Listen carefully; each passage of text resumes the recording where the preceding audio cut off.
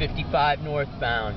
What time is it, Scott? It's approximately 3.30. We're getting ready to go to command some ducks at Columbia Bottoms. It's been tough hunting out there all year for most hunters. Most averages under one duck a man.